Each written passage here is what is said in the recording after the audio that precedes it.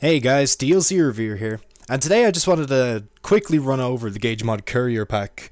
Um, the Gage Mod Courier Pack was released on April 10th. It goes for $4.99 or 5 euro in my currency. And um, it's a very small DLC pack. It adds very minuscule things and brings in a whole bunch of mods that are, you know, specific to each of the weapons.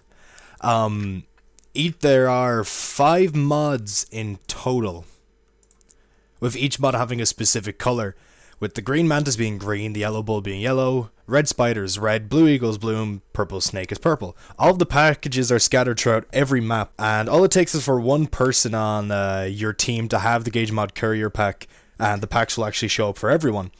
But if you pick up a pack and you don't have the Courier DLC, you don't get um, the mod from picking it up so many times. Uh, but you do still get the experience from picking them up, I believe. So each of the packages um, require a certain amount of them to be picked up before you can get uh, your mods for what each package holds.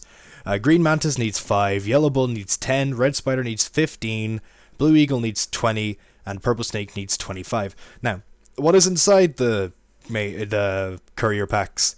Well, for the Green Mantis, we have the AK Slavik Dragon Barrel for the AK rifle and AK 762 rifle. We have the compact hollow sight for all weapons except pistols. We have the compact hollow sight for all weapons except pistols, the specular sight for all weapons except pistols, the competitor's compensator for all rifles and submachine guns, and the AK rubber grip for all AK rifles. In the yellow bull, we have the white stock for all car rifles and adapter support, the asbestos suppressor all for all pistols except the Bronco. Uh, the Trigonom sight for all weapons except pistols. Funnel of Fun nozzle for all rifles and submachine guns, and the AK plastic grip for all AK rifles.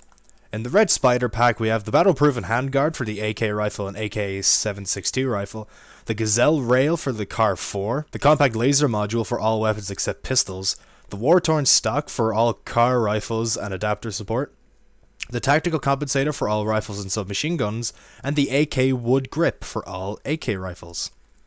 In the Blue Eagle, we have the Deagle scope mount for the Deagle, uh, AK quad stacked mag for all AK rifles, the military laser module for all weapons except pistols, the solar sight for all weapons except pistols, the flash hider for every pistol in the game, and the compact sight for all weapons except pistols. And finally, the Purple Snake, which has the Bronco support mount for the Bronco 44 revolver, the competition foregrip for the Car 4, the lightweight rail uh, for the AK and AK 762, the car quad stacked mag for all car rifles and AK 5 rifle, the pistol red dot sight for all pistols except the Bronco, and the King's Crown compensator for all shotguns except the Mosconi. As you go into each contract, the courier packs will be found at specific locations but can sometimes be a little random. So like if it appears next to the dumpster, sometimes it won't appear next to the dumpster, it'll appear to somewhere else, but then sometimes when you go in it will appear at the dumpster. So I'd say there's like uh, 14 or 15 different spaces it can appear, but only 10 will ever appear on Death Wish. And I believe it's 8 on Overkill, then probably 6 on Very Hard, 4 on Hard. I don't really know how exactly how it goes from Very Hard down. I don't play Very Hard very often. Uh, but on over on Death Wish it's 10 and on Overkill it's 8, I believe. Um, so it's completely the the place where they show up can be you know found through guides, but what they're gonna be is random. So there could be a green mantis next to the bin, and then you go you play the mission again. There's a blue eagle there this time.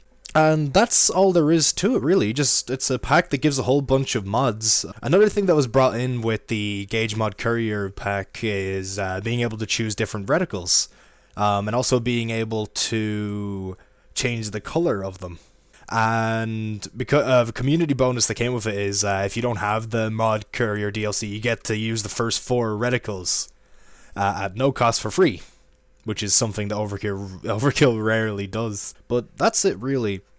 Is it worth getting? Yes, definitely. A lot of the mods here are actually really useful, um, especially in the Purple Snake. Uh, the King's Crown Compensator is really good and the competi- the competitor's compensator in Green Mantis is very really really good as well. Just in general, everything that you find in the uh, courier assignments or the courier pack, uh, you'll just find useful when you're modding your weapons. And also the the courier pack actually holds a lot of the mods as well. So if you don't have it, you'll be missing out on on quite a bit. So yeah, it's definitely worth it, especially because if anyone else picks up the packs, uh, you get them as well. It's not if someone finds a pack, they keep it. So if you pick up a purple snake, everyone gets the purple snake who if they have the DLC.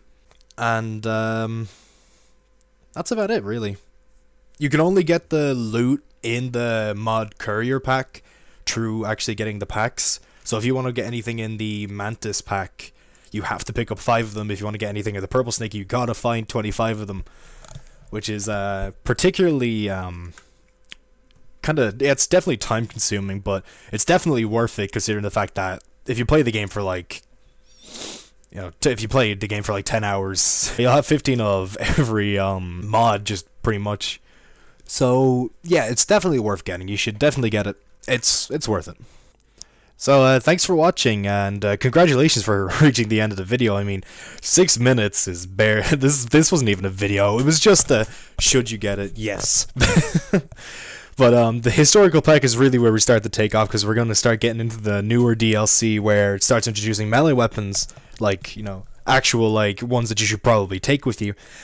So um, just like the uh, mod courier packs uh, that you can find around when you're doing your contracts, make sure you find my subscribe button and pick it up and then click it and take it away with you so that way you can see when I upload the uh, historical pack which is next as you can see on the bottom of the screen. So anyway, yeah, I will see you next time for Gage Historical Pack. Bye.